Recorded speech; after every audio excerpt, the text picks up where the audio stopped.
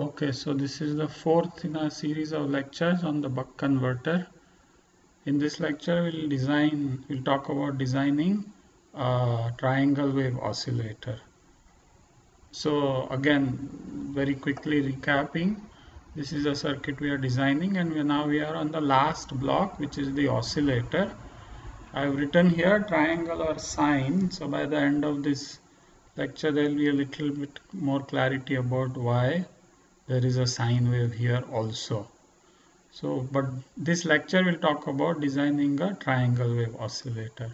So how are triangle wave oscillators designed? They are usually generated by first generating a square wave and then integrating that square wave. And when you integrate a square wave, you get a triangle wave. We'll see that in a minute. Uh, now we've already designed a square wave with a 555 timer circuit in the EDC lab. So I am not going to discuss the generation of a square wave. I'm going to assume that you already know how to generate a square wave using a 555 timer circuit. Uh, what we'll discuss now is the integrator. We've probably studied this earlier, but I don't uh, recall. Uh, in any case, we'll study this in some detail uh, in this lecture. So what is an integrator circuit? An integrator circuit is basically an op-amp with a capacitor in the feedback loop and a resistor from the input to the uh, input, negative input of the op-amp. And if we write the current equation at the negative input node, we'll get V in by R1, uh, which is this current, plus Vi, the current in the capacitor, which is C dVo dt equal to 0 and we rearrange this and integrate we get VO equal to minus 1 by RC integral V in of dt. So the output is an integral of the input with a constant multiplying factor which is minus 1 by RC. So for example, if the input is a constant positive voltage, if V in is constant and positive, then this comes out and then we integrate dt so we get a t. So we'll get a negative going ramp or a straight line uh, at the output because the integral of a constant is a straight line. Similarly if the input is negative a negative dc the output will be a positive going ramp voltage. So if you want a triangle wave output what we should apply is a square wave at the input with equal positive and negative voltages. So when the input is positive and constant, the output will be a negative going ramp. When the input is negative and constant, the output will be a positive going ramp and therefore eventually we'll end up with a triangle wave. Uh, Suppose instead of equal positive and negative voltages, if the square wave has goes from 0 to a positive voltage.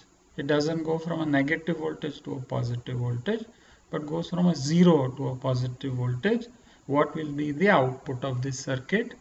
You think about it and I'm leaving this as homework to you. Please draw this over many cycles. It's a simple but important exercise to do. Uh, but we'll apply a positive and negative voltage as the at the input. So here is what we want. We want the triangle wave to have a plus minus 12 volt output because this is what we had assumed in the buck converter feedback loop design if you go back to the previous lectures.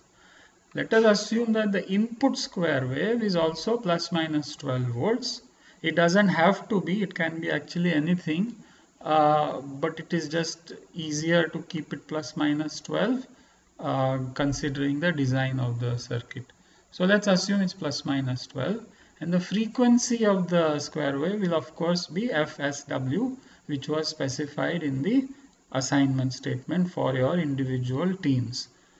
So the waveforms that we expect and we would like ideally are as follows.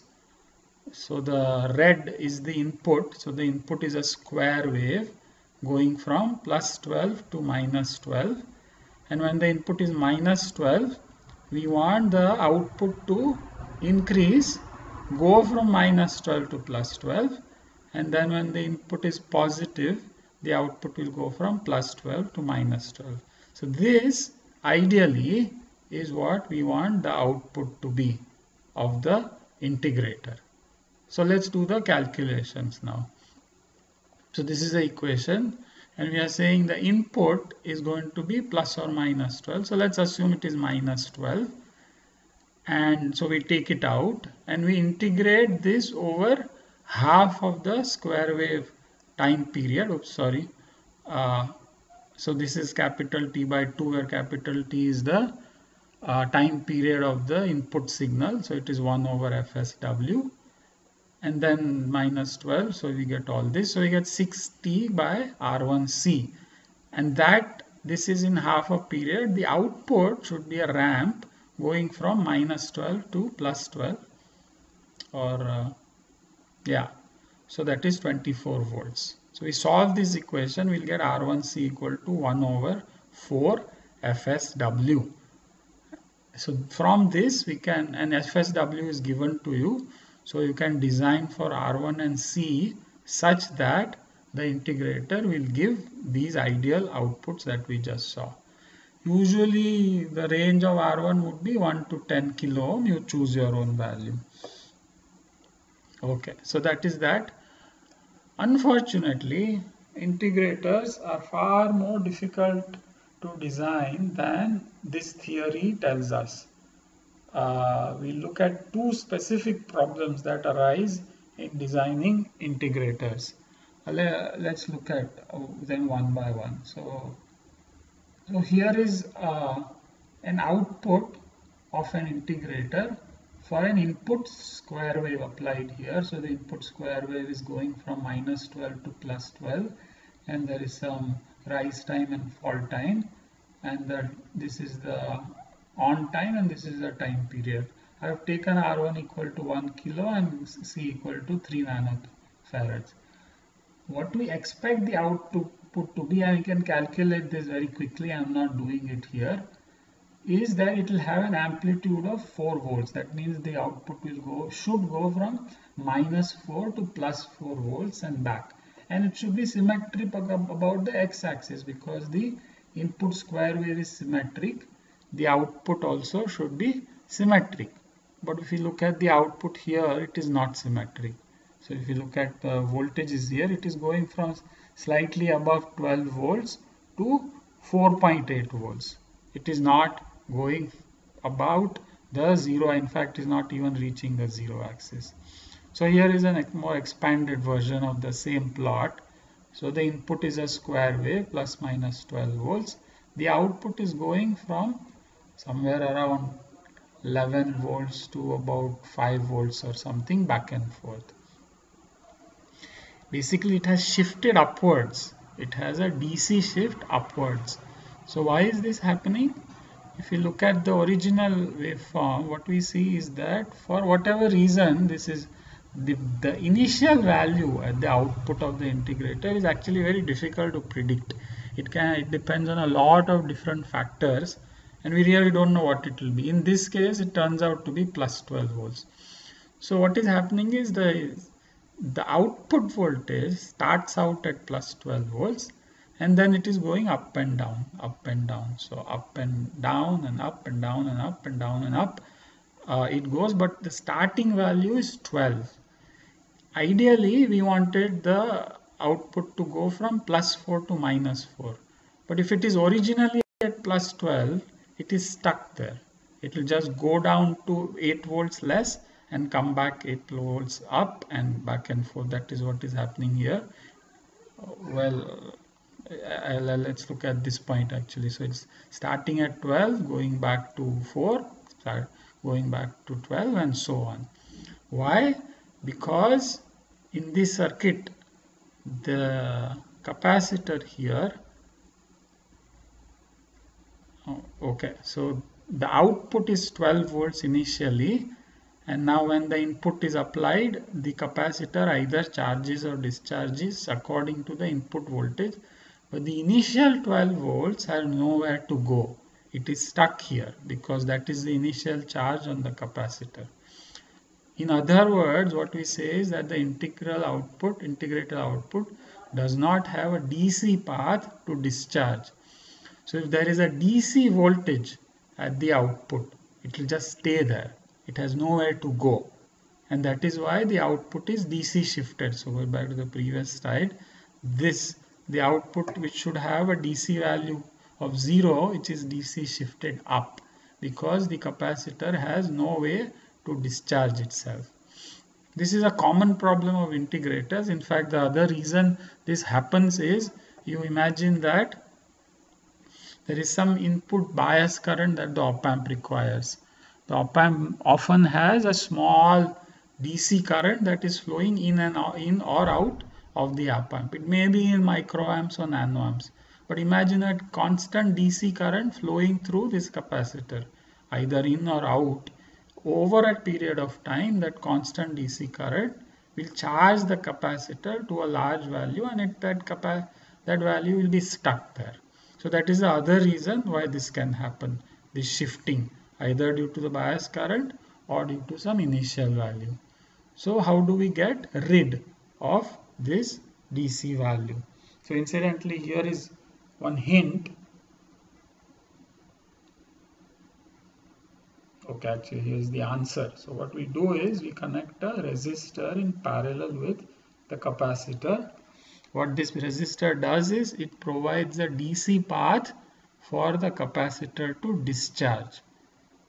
And with this DC path available if the input DC if the input has a DC of 0 so if you imagine an ideal square wave the average value of the square wave is 0 that means the DC value of the input is 0 then we can apply this equation only for the DC and then the output also should be 0 because for DC the capacitor will act as an open circuit and so you'll get VO equal to minus R2 by R1 V in. So V in DC is 0, V output also will have a 0 DC. So this is how we get rid of the DC component. So here is the output. Okay, let me come back to this just in a minute.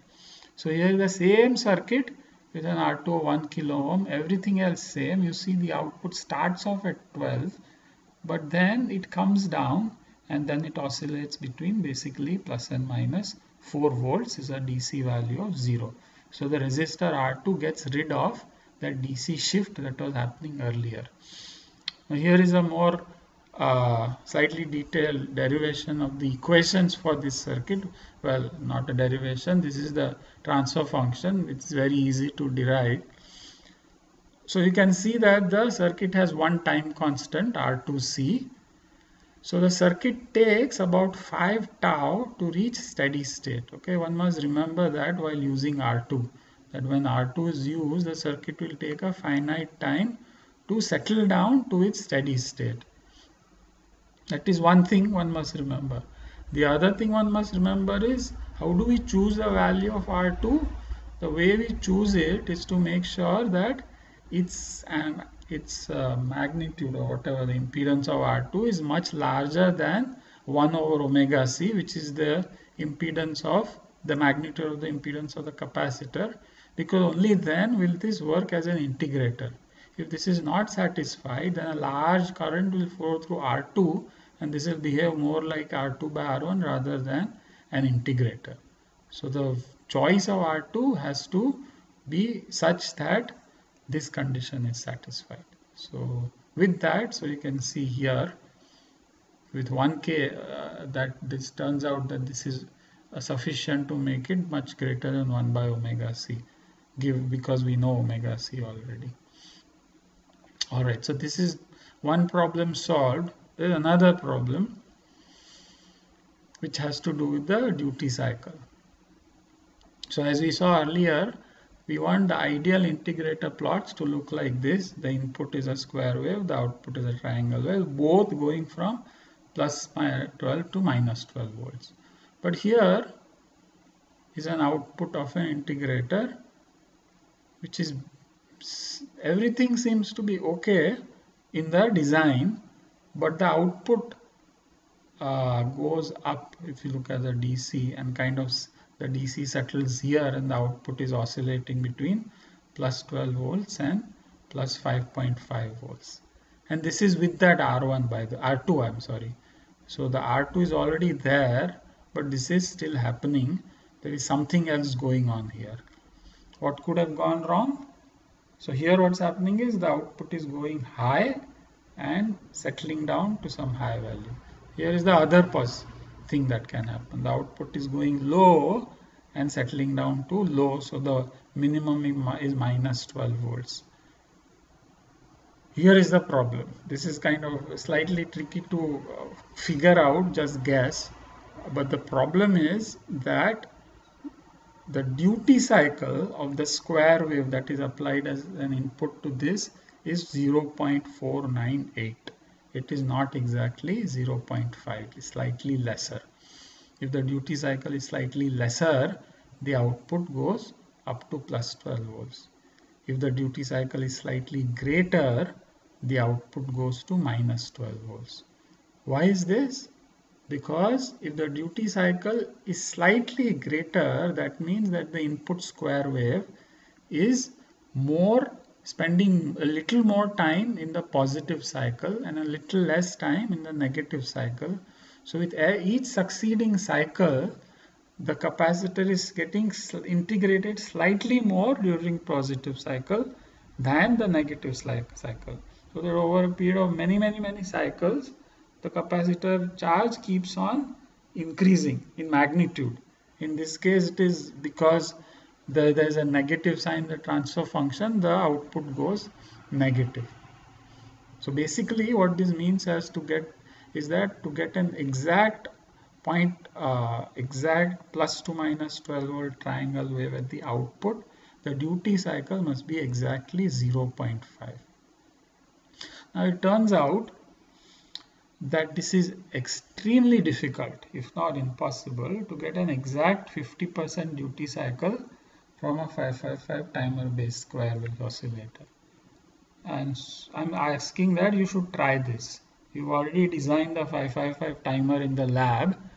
Now you modify that circuit and see how close to 50% you can get the 555 timer output to be, the square wave output to be okay so i'm leaving this as an homework you must try this how close can you get to 50 percent and not only 555 timer there are of course many other square wave oscillator circuits but all of them getting an exact 50 percent duty cycle is not easy at all.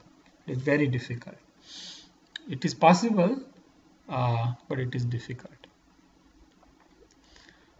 So given that it is difficult, maybe you don't even want to design a triangle wave oscillator for a buck converter. So I'm giving you an option. Maybe you design a sinusoidal oscillator instead of a triangle wave oscillator. So this is the answer to the question about, or no, not the question, in the block diagram, I had written triangle or sine. So you may want to use the sine because the triangle may be just too difficult to generate. Of course, the sine wave is not a linear waveform. The triangle is basically a series of straight lines. And if you recall, we had actually assumed the linear behavior in one of our calculations uh, in one of the earlier lectures. Uh, so that calculation will not be exactly valid if we use a sine wave, but that is okay. The differences are minor and the converter will work quite well even with a sine wave. So we will study the design of a sinusoidal lecture but we'll do this next time. For now this is uh, we'll stop this lecture here.